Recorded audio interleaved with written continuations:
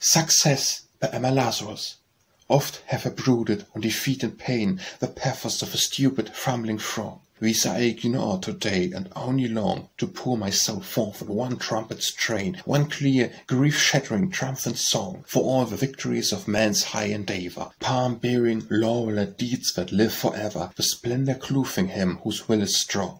Hast woe beheld the deep, glad eyes of one who has persisted and achieved? Rejoice! One more diviner shines the all-seeing sun. Salute him with free heart and choral voice, midst flippant, feeble crowds of spectres one, the bold, significant, successful man.